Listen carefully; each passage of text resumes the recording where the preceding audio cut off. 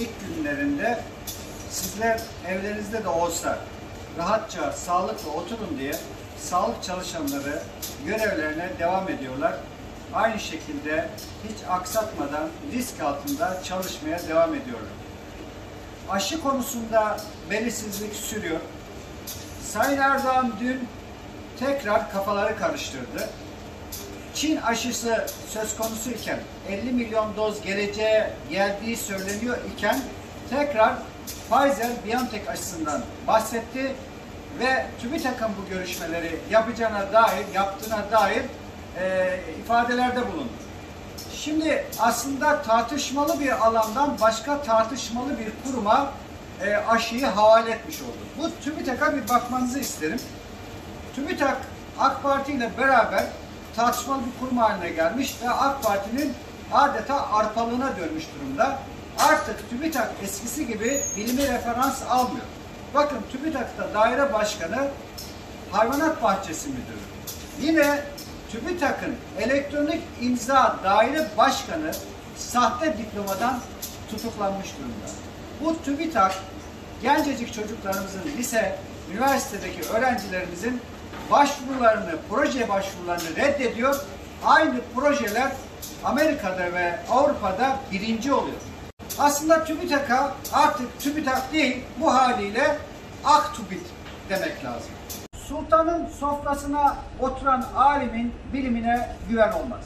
Sağlık Bakanlığı'nın aşı için enjektör ihalesine çıktığını öğrendik. Bu ihale tarihi olarak da 12 Ocak gösterilmiş. Bu bile normal vatandaşın Türkiye'de aşılanması için daha çok bekleyeceğini gösteriyor. Görünen o ki Şubat ayının sonuna kadar tekrar Çin'den bir yeni parti gelmesi söz konusu gözükmüyor.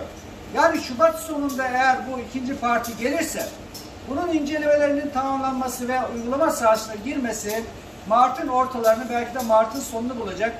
Yani tüm dünyada aşılama neredeyse tamamlanma noktasına gelmişken Türkiye'de biz hala aşı bekliyor, aşı tartışıyor olacağız.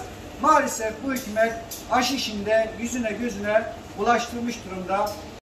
Peki tüm dünya ülkeleri kendi nüfuslarının iki katı, üç katı aşı siparişlerini, bağlantılarını aylar öncesinden yaparken Türkiye neden bu halde?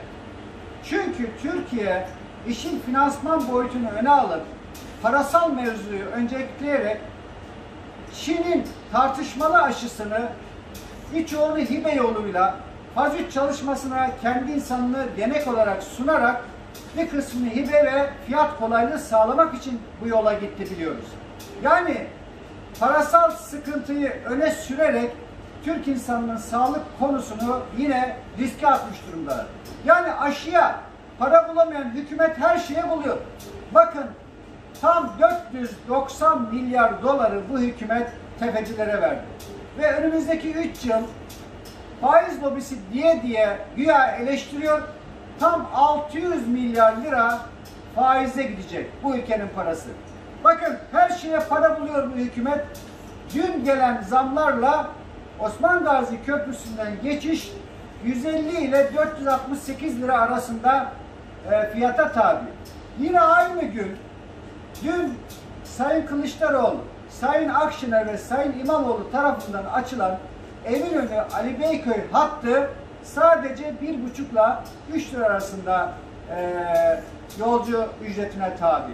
Dolayısıyla anlayış farkını görün diye söylüyorum. Her yere para bulan hükümet milletin sağlığına bulamıyor maalesef.